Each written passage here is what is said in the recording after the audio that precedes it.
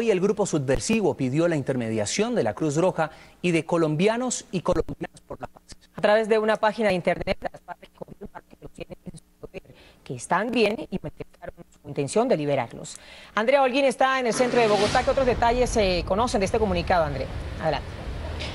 Luz Serena, muy buenas tardes. Pues es un comunicado muy corto, básicamente de tres renglones, pero en el comunicado habla sobre varios puntos en específico. Uno de ellos, como usted lo decía, que están en el poder, en poder de las FARC, pero no solamente los dos policías secuestrados en el Valle del Cauca, sino también Josué Meneses, que sería uno de los soldados que también estaría secuestrado y que cayó en los combates que se llevaron a cabo en Policarpa Nariño el martes anterior. Hablan también de una intermediación para su liberación y sobre las condiciones en que se encuentran los tres uniformados.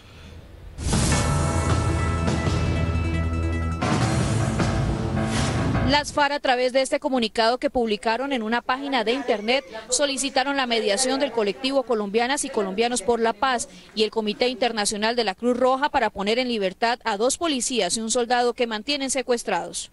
Procederemos a hacer las gestiones del caso para ponerlos en libertad con intermediación de colombianas y colombianos por la paz y con el acompañamiento del Comité Internacional de la Cruz Roja.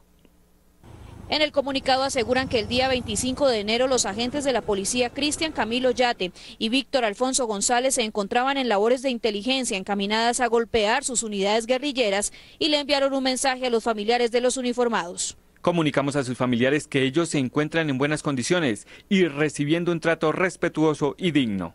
A su vez, la familia de Cristian Camilo Yate hizo un llamado al gobierno para que inicie las intermediaciones. Por medio de, Caracol, pedirle al gobierno que, que deje intervenir a, a, la autora Piedad Córdoba, a Colombianos y Colombianas por la Paz y a la Cruz Roja Internacional para que mi sobrino pronto esté en su hogar con los suyos y le pide a las FARC respetar la vida de los uniformados. Sí, pues gracias a Dios salió ese comunicado y, y esperamos que, que cumplan y que respeten la integridad de ellos. En el comunicado también aseguran que tienen en su poder a un soldado que fue secuestrado en los combates que se llevaron a cabo en Policarpa Nariño y que están en disposición de entregarlo con los dos policías. Mire, hace pocos minutos el Comité Internacional de la Cruz Roja, a través de su oficina de prensa, nos confirmó telefónicamente que están dispuestos a ofrecer sus oficios humanitarios para la liberación de los tres uniformados, que estarían a la espera entonces de días, de lugares, para adelantar este proceso. Y también en contados minutos también estaremos con la doctora Piedad Córdoba del colectivo Colombianos y Colombianas por la Paz, que se referirá al tema sobre este comunicado. Desde el centro de Bogotá, Andrea Holguín, Noticias Caracol.